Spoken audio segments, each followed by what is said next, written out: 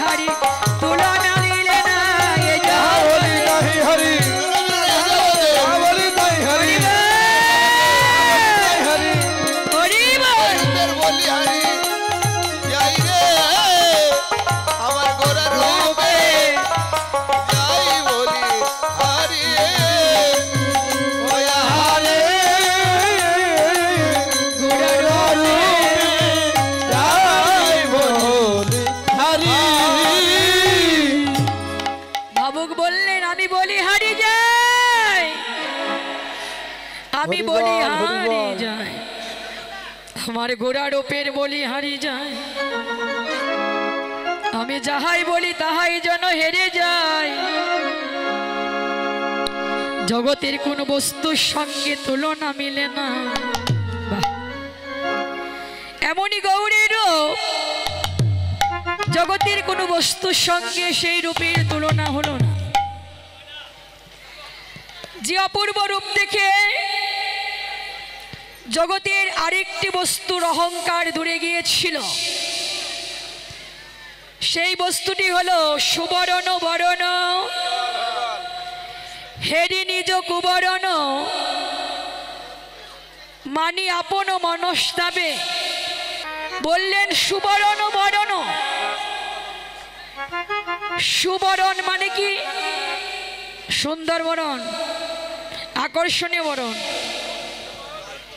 এই জগতের যে বস্তু, এই জাগকে পরিধান করেন, তার কোনোদিন জীবন নাশের সম্ভাবনা নাই।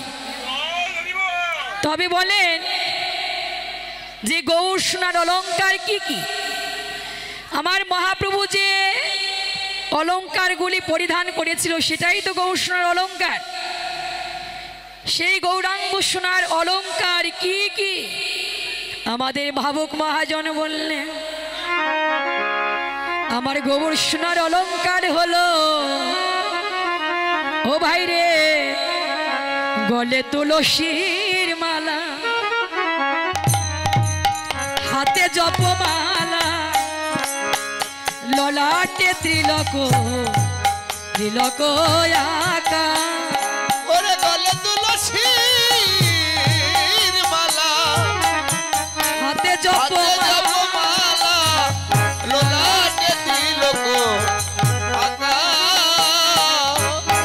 সদা হরি হরি বলে। আবার এই সাধু সঙ্গ করে।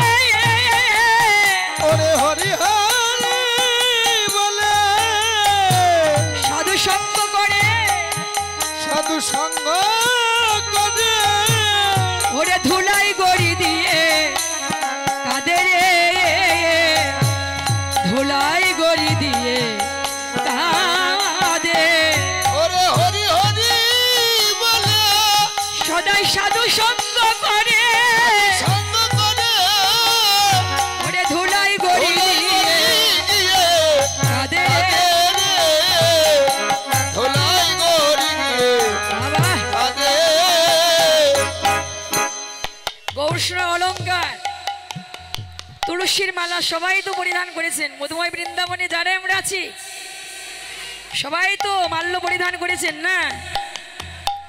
যারা করেননি তাহলে অনতি বিলম্বে করবেন মালার মহৎ গুণ। এই তুলসী, তুলসীর মহৎ গুণ।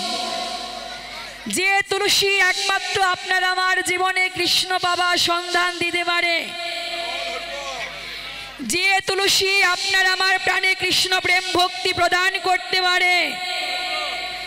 যে তুলসী কেবল এই জগতের আমাদের বান্ধব নয়, আমাদের পারমার্থিক জগতের বান্ধবী তুলসী।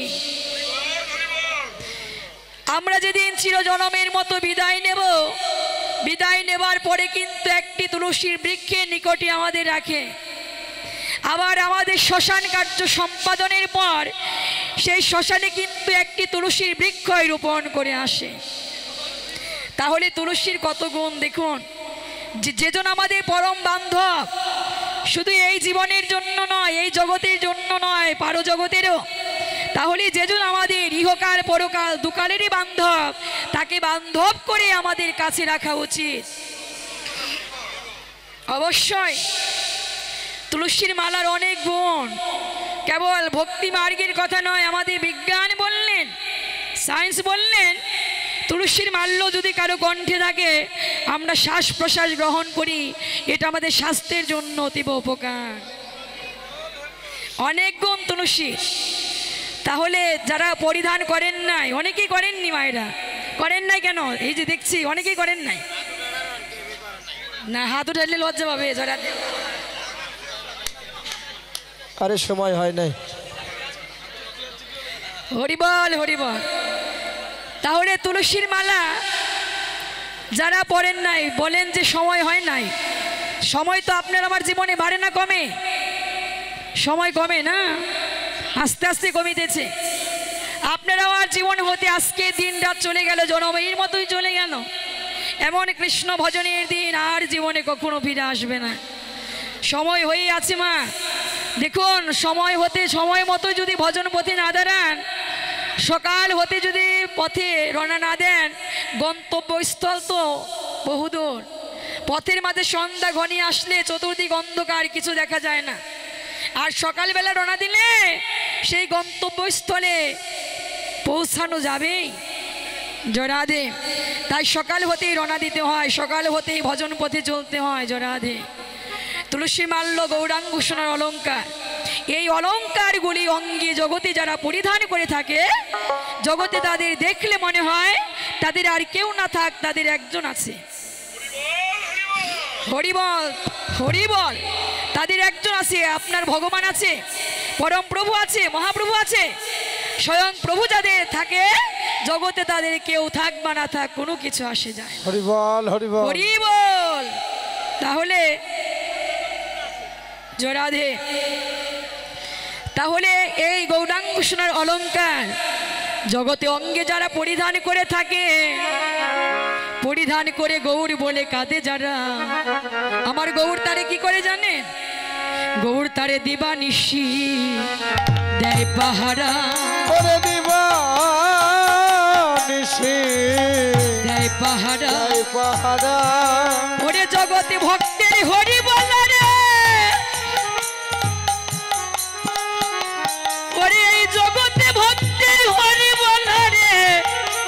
ওরে বদন দেখে রে বদন দেখে। আমার ভগবান তার ভক্তকে দিবানিসি দেয় পাহারা। ওরে হরি বদন দেখে। বদন দেখে। ভগবান দেয় পাহারা।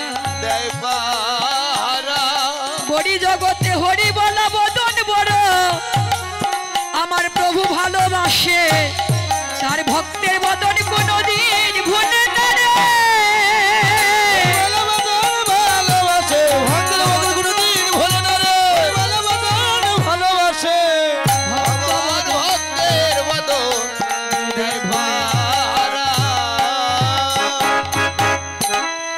জগতের কোনো বস্তুর সঙ্গে গৌরূপের তুলনা হলো না। গৌরের রূপটা কেমন? ভাবক দর্শন করে বললেন, যেন আজানো লম্বিত তার দুটি বাহু। গৌরাঙ্গের চোখ দুটি যেন প্রস্ফুটিত, কমলের ন্যায়। কমল মানে পদ্ম। যে সরোবরে এখনই যে পদ্ম ফুটেছে, সেই পদ্মের ন্যায় গৌরাঙ্গের দুটি নয়ন যুগল। তার মুখমণ্ডল যেন শরতের চাঁদকেও জয় করেছে।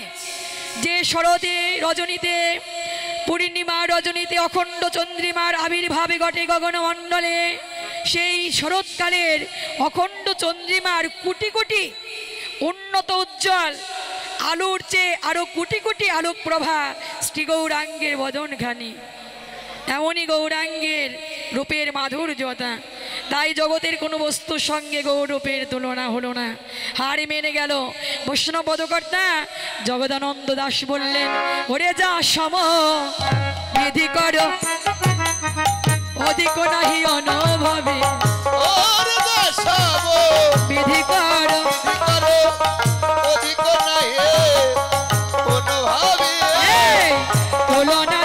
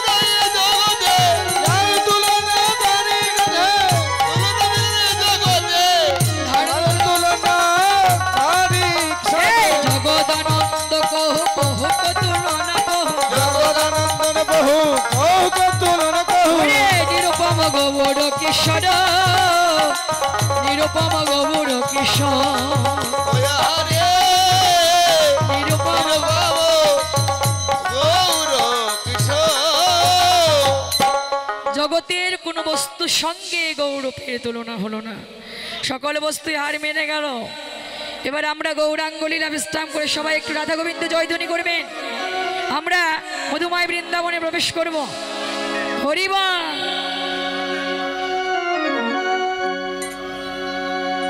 জয় রাধে, জয় গৌর হরিবল হরিবল হরিবল হরে কৃষ্ণ।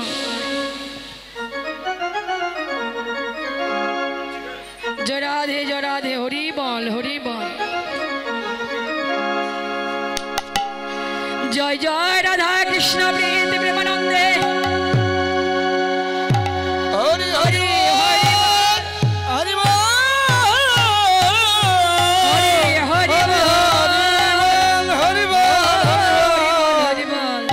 হরি মধুর বৃন্দাবনে আমাদের শ্রীমতী রাধারানী রাধারানী সাজের বেলায় স্ত্রী যমুনায় জল ভরিতে গিয়ে জল হরিতে গিয়ে। আমার রসিকেন্দ্র চূড়ামণি রসরাজ শ্রী গোবিন্দের অপূর্ব রবি দেখলেন অপরূপ রূপ দেখে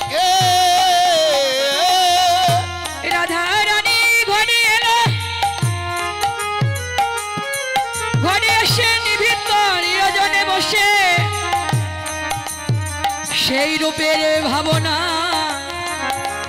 ভাবনা করিতে লাগল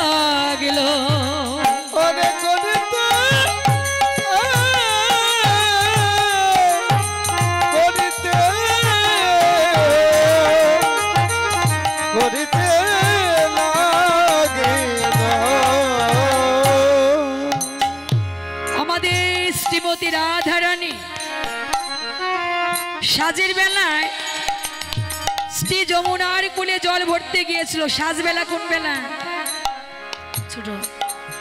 সাজের বেলায়।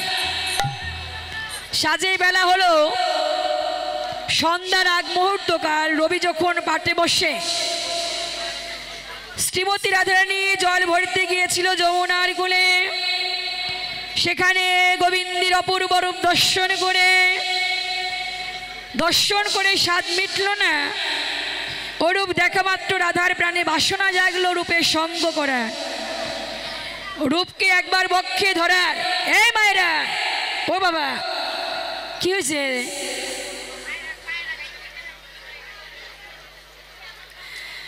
শ্রীমতী রাধারানী সেই রূপে সঙ্গ পেল না। তাই বিরহ ব্যথিত প্রাণে ঘরে এলো। ঘরে এসে রূপের ভাবনা করছে, নিভৃত নিরজনে বসে। তবে কেমন করে রূপের ভাবনা করছে আমরা একটু আস্বাদন করব। আমাদের পদকার চণ্ডীদাস যেজন প্রেমের কবি, ভাবের কবি, জাতির কবি চণ্ডীদাস জানাই গেল, আহারে, ওরে রায় আমার যমুনায় যায় ওরে শ্যামের দেখিও ঘরে আইলা বিন